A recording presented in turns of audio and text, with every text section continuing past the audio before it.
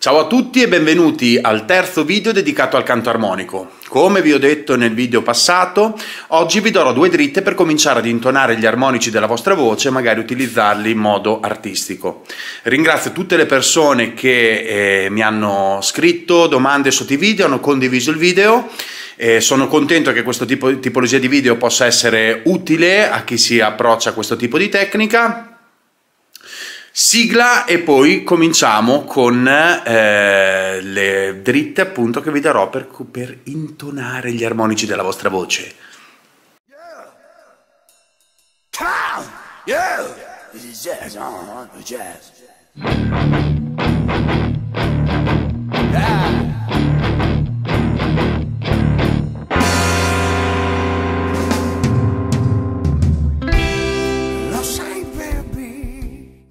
Ovviamente rispetto agli armonici gli argomenti potrebbero essere tantissimi e molto interessanti.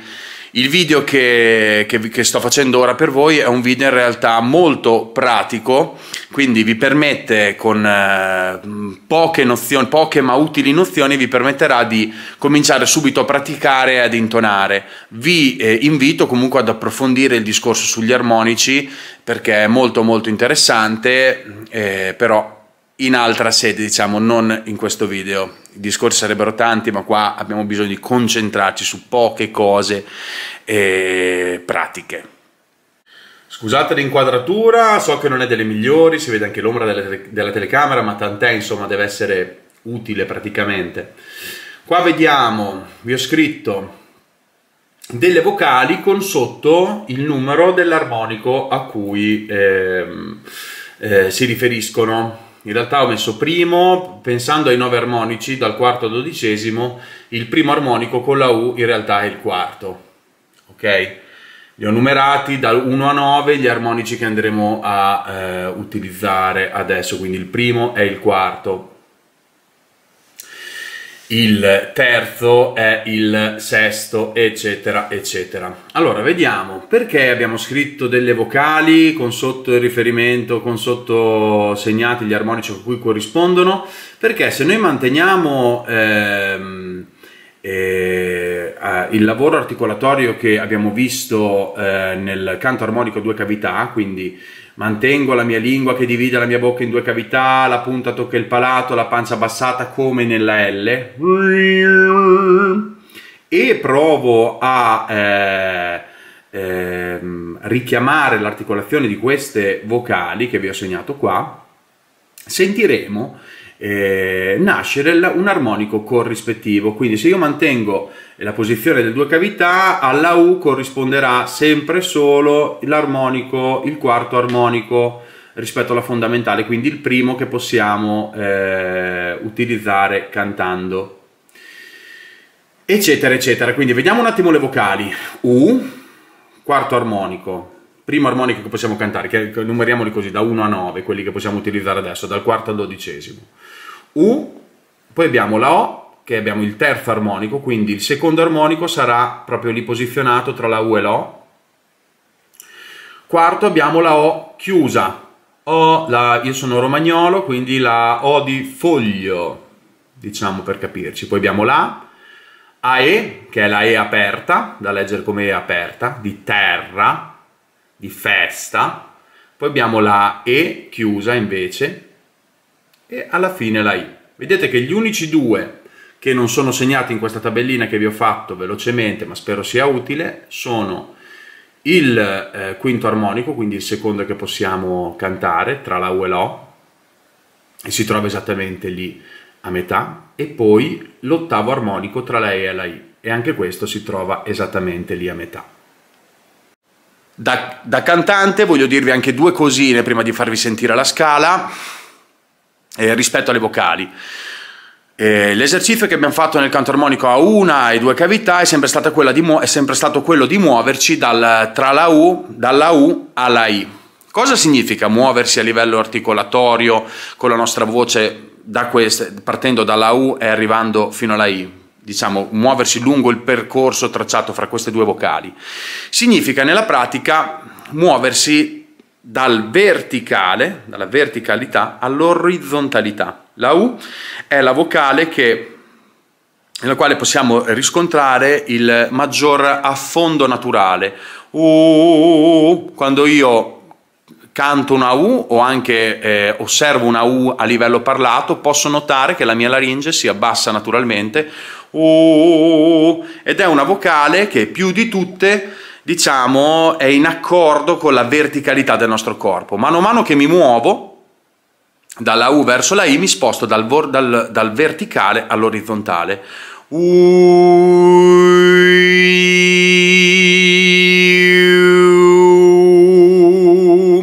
Ok? Quindi con la U il mio suono è naturalmente ehm, eh, ricco di armoniche medio-basse, la mia laringe si abbassa un po', quindi un suono ehm, collegato anche al mio corpo, al mio torso e mano a mano che mi muovo verso la I comincio a sentire che il suono diventa sempre più eh, squillante, ok? E naturalmente va, lo sentiamo, eh, lo sentiamo vibrare di più nella zona di testa. E ehm, questo è proprio il percorso attraverso il quale noi ci muoviamo quando andiamo a intonare i nostri armonici, dal verticale all'orizzontale. Ok, ora provo a farvi sentire come suona questa scala che vi ho ehm, disegnato, diciamo così qua. Vi ricordo ancora che eh, ho nominato dal primo al nono armonico gli armonici in realtà che sono dal quarto al dodicesimo armonico, quelli che vengono pre prevalentemente utilizzati. Si può arrivare a intonare fino al sedicesimo armonico, ma ovviamente dopo il dodicesimo si sentono un po' meno... Eh, forti. Diciamo che già se riusciamo a intonare dal quarto dodicesimo in modo eh, corretto già sarebbe un'ottima cosa. Allora. Mm.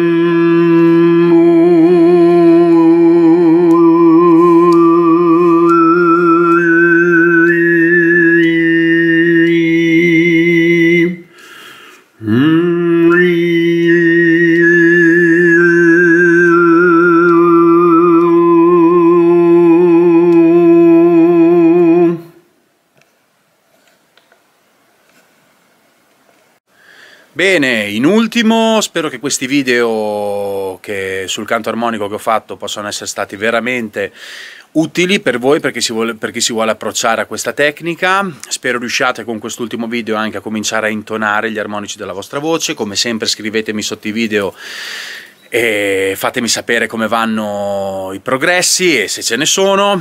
La cosa che ci tengo a specificare, come ho fatto anche nel primo video, eh, visto alcune incomprensioni che ho letto nei commenti sotto questi video dedicati appunto al canto armonico, che la definizione canto armonico è volutamente generica, non fa altro che ehm, eh, diciamo spiegare la modalità con cui noi possiamo eh, scomporre il nostro suono vocale e far sentire gli armonici della nostra voce.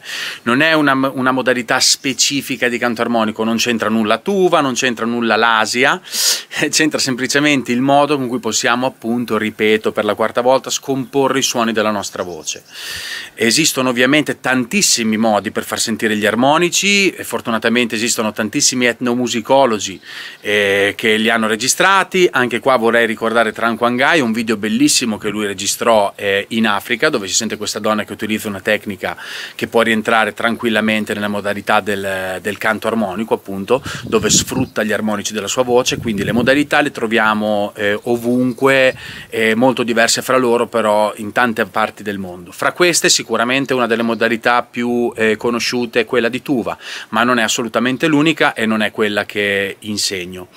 Ehm, ci tengo a specificare un'altra cosa, nella modalità um, tuvana eh, il suono che viene scomposto è un suono comunque ehm, è un suono compresso tipo questo, anche se non è questo l'esatto, però tipo questo.